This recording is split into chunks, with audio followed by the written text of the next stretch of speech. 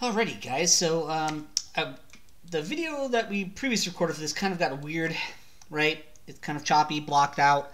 Um, so this is going to be a supplement to that one, right? It's still good to kind of quickly watch that one. I can describe and talk about everything, automatic mapping, TexTools. So hopefully you watched that one and you just thought it a little choppy. Maybe you got some of it, maybe you didn't.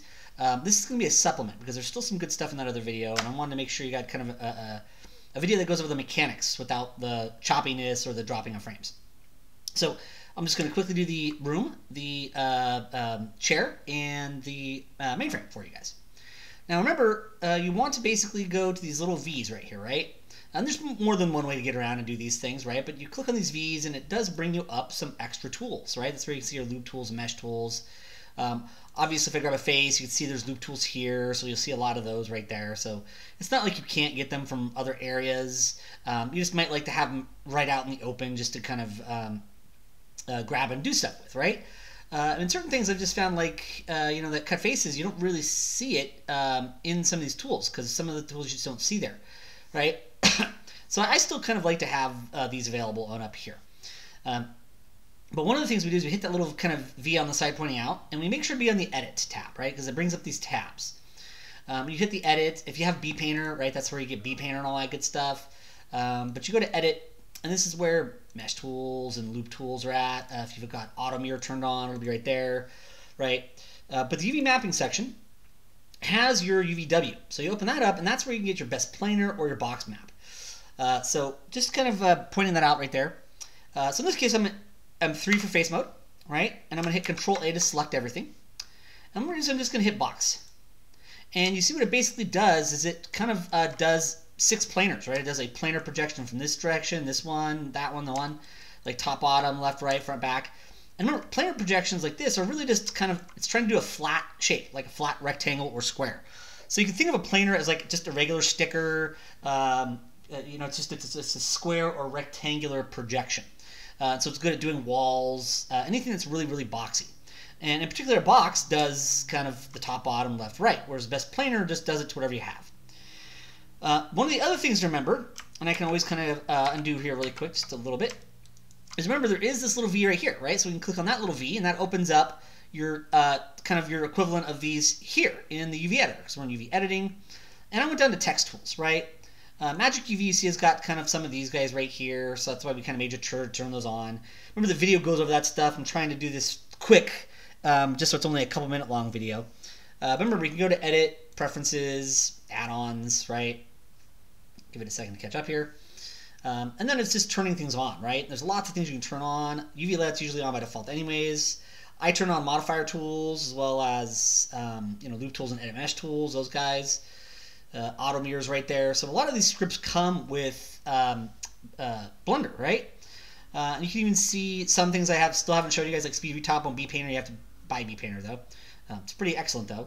And then UV Magic and TexTools are down here as well.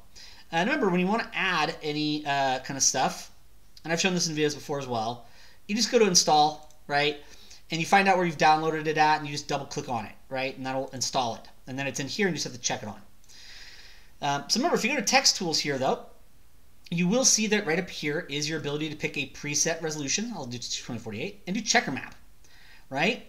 And as long as you have kind of your uh, wireframes there, shadeds there, uh, that's going to show Eevee with your full material preview, right? So it'll show your textures, uh, any material preview stuff. It's basically showing your real-time Eevee stuff, right?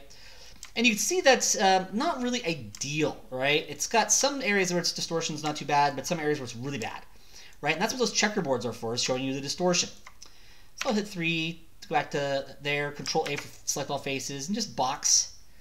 And you see all of a sudden that this is already doing a much better job for us, right? And then what I want to do is I'm just going to go in here, uh, put my cursor over this view, Control A, because the, the kind of are depending on where your cursor's at, um, but the same kind of quickies work here, right? And then we can go to um, UV, and if we want, we can just use this pack UV right here. And that should do a pretty good job of kind of packing everything and giving it the overall proper relative size it has. Uh, if you need to, you can always go to UV layout here, and particularly since you have TexTools and it's a free add-on, um, you know, you can always kind of um, sample the texel uh, density, hit apply, you see how kind of just resize them a little bit. The sizes are maybe off just smidge, right? Um, and then you can always just kind of pack them again, right? There we go. And you see that this now gives us a pretty good UV unwrap, right? That's pretty good. Uh, might be a little bit distorted right there, but not too much. And we're going to be 3D projection painting, so um, this will work pretty well. And a lot of this project is about getting you guys to see box mapping anyways, right? So uh, that would be how you would do the room, right? How that would be uh, UV unwrapped. Uh, so now at this point, what I want to do, save that really quick. I'm going to go File, Open, and I'm going to find the chair. There we go. We're going to open up that chair. Because these are the ones that were kind of in that one video, but didn't really get ideally done. The video kind of got weird when we captured it. Didn't realize until later on. And so we do here is we do have two objects, right? And we could keep them separate if we wanted to, but we could also just select both, right? Hold down right mouse button, join, make them one object. And then, of course, as we go along here, and if we want, we could apply all, right? So if I go to um, my uh, blue wrench, I can apply any modifiers are still there. Normally, you would just go here to apply, but if you have the uh, modifier tools add-on turned on, you hit apply all, and it applies every modifier, right? So in this case, uh, we'll make sure that's turned on. And we'll go here really quick, just to TexTools, and we'll set that to 2048, checker map. Boom. And now what I want to do is I want to do some unwrapping. So I'll click on this V. Remember, those little V's are what opens these up. If you kind of move them to the right, like you kind of grabbed here and slide it over, it closes it, right? Uh, but those little V's kind of open it up. Uh, in this case, I'm to hit 3 for face mode. I'm just going to select a face. Uh, remember, you can use your select linked, right? I have a, the quick key spacebar set to it because I like it better for that, but the right bracket key is your quick key for that. But it is select linked, right? Right there. You can see I've added some of my own shortcuts since I'm doing this at home for you guys. Uh, then we go to edit. And you see I've got lots of things turned on here, right? So as you go and you turn on more and more of these things, you'll you'll see them available there. Um, many of these come with it, right? Some of them don't. Um, but we go to UV mapping, we go to UVW, and we do box. And we'll see that that will do a pretty good job of unwrapping these guys. Now in this case, I don't want to repack those quite yet. I just wanted to get a good box map for those, right? But you can even see here, low distortion, right? That checkerboard is really about seeing how your distortion is going to look. When it's not looking checkerboard, your UVs are heavily distorted, and what you're going to have is when your texture goes on and paints, it's not going to paint that well, right? It's going to paint pretty poorly. Um, so what you're looking for is low distortion. If it's pretty checkerboard, you're going to have generally pretty good UVs, and the textures are going to go on and look pretty good on your models. Uh, in this case, though, I wanted to use automatic mapping for those, but I wanted to use uh, unfold for these. So I'm going to go 2 for edge mode. And I'm just going to double click to select an edge loop there. Uh, double left click, right? Shift double left click to select another edge loop. And in this case, you can see they're not wrapping all the way around. I think because when I did the mirror, uh, it might not have had the clipping on.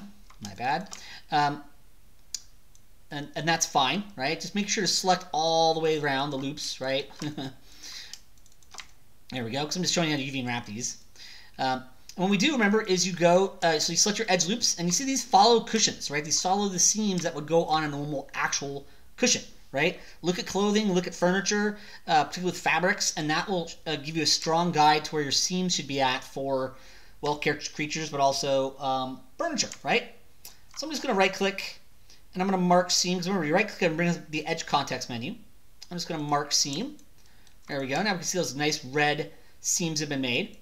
And then what we do is we just go to 3 for face mode again, and we just select some faces. Now remember, your select linked actually uh, obeys the seams, right? So if you don't select polygons on both sides, it'll only select one kind of shell, which is actually kind of cool. But we that's why I selected polygons on both sides, so it selected all the shells, right? Uh, and then what we could do is we could simply go to UV, unwrap, and uh, you'll see there's actually uh, can't remember if 2, 2.9 and below had this. I might have to take a look at that. Um, but um, in 2.91 at a minimum, uh, you actually have a lot of these options here, like cube, cylindrical sphere. Um, but we're just going to do a regular unwrap. And there we go. Now in this case, you can see, I think when um, I mirrored it over, it actually um, created a bunch of duplicates. Uh, so that might be what's causing a little bit of an issue for that one for uh, this guy. Um, in this case, I could always just, you know, quickly undo this, because this will show you how quickly you could do this, right? Once you get you know how this stuff works pretty quickly and easily, uh, not terribly difficult. So I'll go back to before I mirrored those. Uh, apply all, because uh, that one was already good beforehand. That's really what caused the problem. Join those. Um, Go for face mode. And boom, back map. Two for edges. And you start selecting the whole edge loop this time. So uh, unfortunately, I joined and then did my apply all, and that actually kind of reconstructed these as duplicates and made a, a bit of a mess. Um, but you see how fast this is when you actually know what you're doing, right? When you know Blender, when you know what you're doing for your UV stuff. Select all, and then of course UV unwrap. And there we go, much, much better, right? And then of course, you know, I can do that quick checker map. And there we go. At this point, I'm going to hit 3 for face mode again. I'm just going to hit Control A to select all. And then, um, actually, select all in this viewport, so it selects everything. Then select all here, right? Control A is your quick key for select all, right? Um, and it works independently in the different viewports, which is actually kind of neat. Sometimes slightly annoying, sometimes kind of neat. You can do sync stuff, but I found that sometimes that's a little weird or it doesn't always do exactly what you want to do, so up to you. Um, and then, of course, we can go to UV and um, we can pack UVs. There we go. Now in this case, so it made these really small, right? So that's where things like UV layout, um, you know, kind of quickly sample and then hit apply. And you saw it kind of resizes everything to have the proper uh, uniform uh, or fairly uniform texel density. So I like to just sometimes with TexTools click on this one and then apply. Um, if you don't have that, you can always do average island scale and then pack, right? But you see how that packs a much better, more uniform kind of um, UV set. So particularly with TexTools add-on installed, um, you can always click on this little kind of um, teardrop thing or eyedropper, and that samples the texel density um, of this the actual um, texel's uh, texture element, right?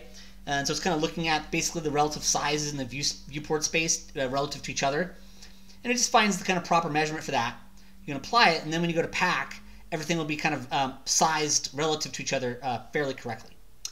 And once again, there you've got UV unwrapping. But you see how you can actually use box and unfold specifically on the different parts?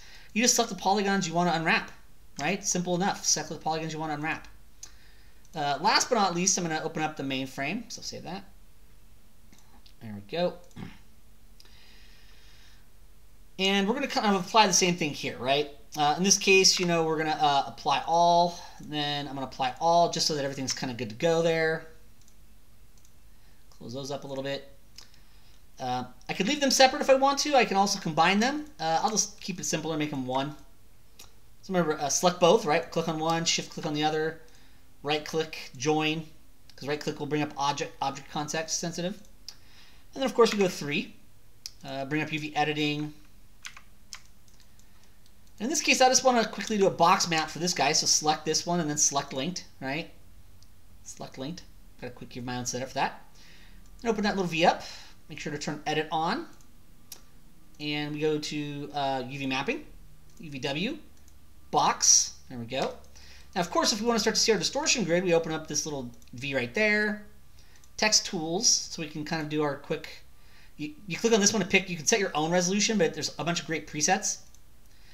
Uh, 2048, hit checker map. And now we can see kind of the actual checkerboard for that. Now, these ones we want to set up as unfolds, right? So I'm going to go to two for edge mode. And I'm just going to go in here and just, you know, double, double left click, shift double left click, shift double left click. Same thing on this side, right? Shift double left click, shift double left click, shift double left click. Just to select those as seams, right? Because those are hoses. Then we can right click, mark seam. And then of course we can grab the polygons on each of these Control A, or uh, in this case, uh, select linked, right?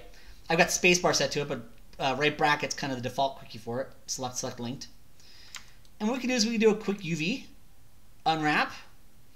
And one of the things you'll notice is that, um, in particular, if you hit, if you put your cursor in the UV editor here and you hit four, right? You'll notice that you're actually in object select mode, but that treats these kind of islands, these shells. Uh, usually they're called islands in most packages it treats them like they're their own little objects. And you see how they're not quite rectangle? So they're ultimately still pretty good low distortion. So if you didn't need to do like say um, straight linear piping or like a, a, nice little checkerboard touch to it, like a if you wanted a a super repetitive, precise geometric pattern, um, this unfolds not going to be perfectly ideal for it. If you're just painting regular color and kind of just general noise and texture that's not super geometric, not super repetitive, not really going to matter. But when you do want a more geometric texture, which is what we're going to do with these, you want to make sure to go into UV layout in TexTools, right? Select the islands, and there's something called rectify. And you'll notice what rectify does is it takes these and it makes them perfect rectangle shapes, right? And you don't need to do this all the time. It's really more for pipes, hoses, things like that that you want to be perfectly rectangular for a highly repetitive geometric texture to go on there. But that will give you a pretty good result for those. And then, of course, you know, I can go to this view, Control A. Then go to this view, Control A. UV. Actually, uh, do a quick, you know, uh, eyedropper, and then hit Apply, and that kind of resizes them uh, to be uh, proper size relative to each other in 3D space. You see how the checkerboard is pretty evenly distributed now? That's not always the case. Like if this was a, a, a, more muted, simple texture and this needed a lot of detail, you could always kind of make the UVs for this a lot smaller and these a lot bigger uh, to kind of um, redistribute how many pixels one part gets to another. Um, generally, though, nowadays uh, you have enough texture resolution that it's not too much of an issue, and usually the texel density you want fairly uniform, um, fairly even relative to each other. Um, but like I said, kind of always depends. Then we go to UV menu and we can just do a quick pack UV. And there we go. And now we can see kind of some pretty good, pretty low distortion UV wrapping. We get to see some of the neat features we have for TexTools here again, right? Um, uh, rectify, your ability to kind of um, sample texel density uh, and then apply that. Um, you know, more about your unwrap tools, packing tools, uh, but even the ability to do that cool checkerboard thing, thing feature. All right. Uh, so I think that'll be a great place to stop for that video.